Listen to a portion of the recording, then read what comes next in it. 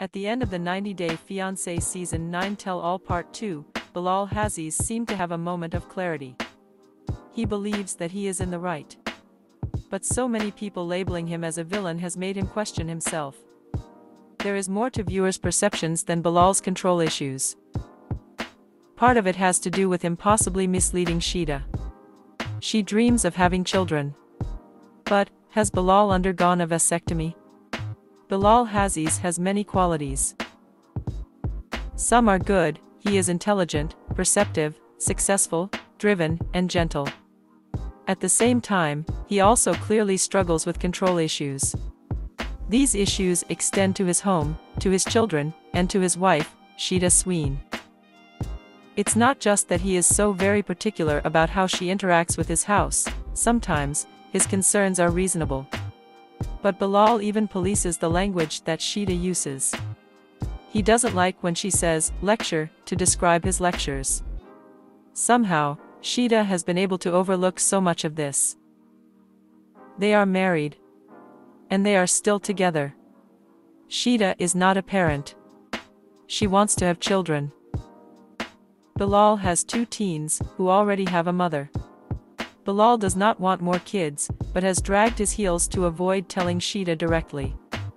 Officially, he just wants to hold off on having kids for a couple of years. There is an unenforceable clause in their prenup about having children before she turns 40. If you like my videos, please like them and subscribe to my channel. The tell-all filmed months after Bilal and Shaeeda married, but she was still not pregnant.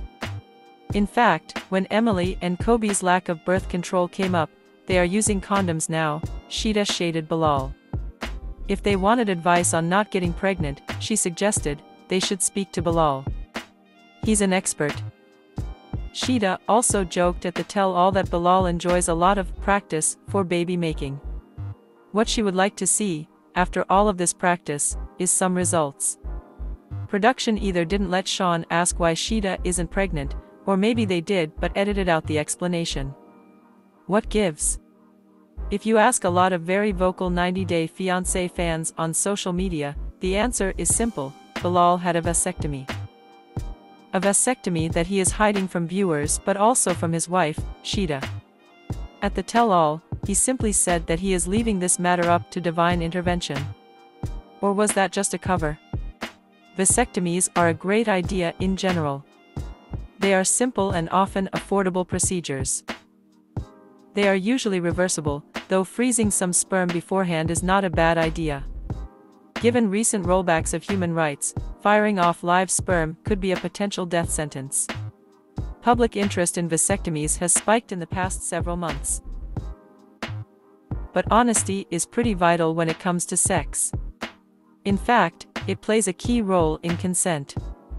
If Bilal has undergone a vasectomy, he absolutely owes Shaeeda the truth, no matter how difficult that conversation might be. Of course, there are alternative explanations. First and foremost, some people try for years before conceiving. The teaser for 90 Day Fiancé, Happily Ever After, Endless Quo's upcoming season also suggests that Shida may discover that she has fertility issues. So we may find our answers soon and it's very possible that production edited out a lot of clarity to drive up interest for HEA.